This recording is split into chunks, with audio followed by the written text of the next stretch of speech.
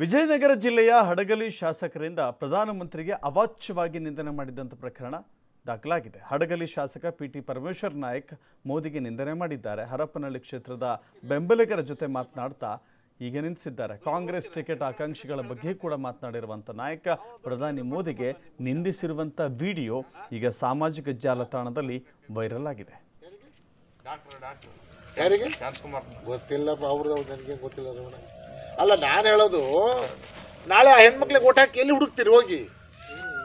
ಯಾವ M L A ಏನ ನಿಮ್ಮ ಕೆಟ್ಟ ಅದೃಷ್ಟಕ್ಕೆ ಅದೇನಾದ್ರು ಟಿಕೆಟ್ ಕೊಟ್ಟು ಅವ್ರು ಎಂ ಎಲ್ ಎ ಆಗಿಬಿಟ್ರೆ ಬೆಂಗಳೂರು ಹೋಗ್ಬೇಕು ನೀವು ಭೇಟಿ ಆಗಕ್ಕೆ ಅವ್ರನ್ನ.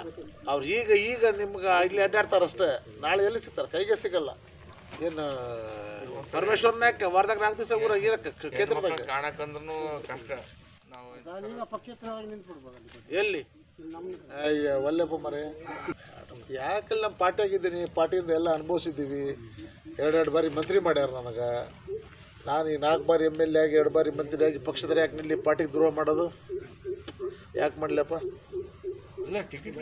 ನಾನು ಹೇಳೇ ಹೋಗಿದ್ದೆ ಇವರಿಗೆಲ್ಲ.